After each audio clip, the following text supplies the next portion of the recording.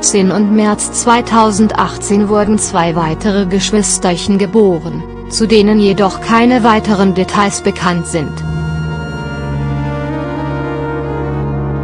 Hat außerdem eine Tochter und einen Sohn mit der Londonerin.